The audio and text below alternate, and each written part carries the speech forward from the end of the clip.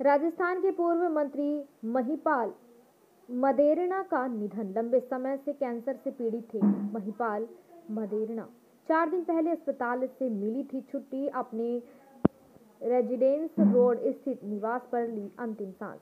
राजस्थान के बहुचर्चित भवरी कांड में लंबी सजा के बीच हाल ही के दिनों में मिली थी जमानत।